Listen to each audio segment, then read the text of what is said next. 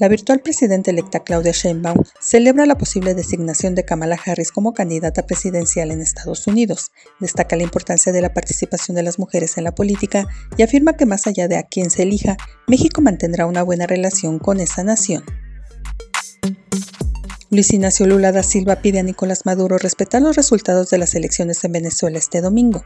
Dice estar asustado por la declaración del mandatario venezolano de un posible baño de sangre postelectoral y advierte que enviará un alto diplomático para que funja como observador.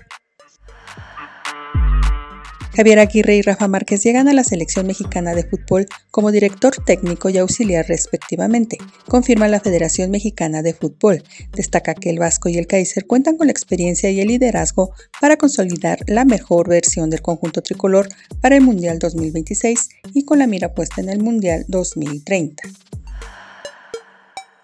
Inician los lunes del Cerro de la Guelaguetza 2024 en el estado de Oaxaca con una asistencia estimada de 12.000 espectadores.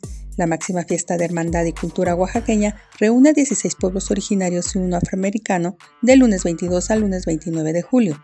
En el día inaugural asisten las secretarias Alicia Bárcena, Luisa María Alcalde, Alejandra Frausto, Leticia Ramírez y Rosa Isela Rodríguez, quienes portaron trajes típicos de la entidad.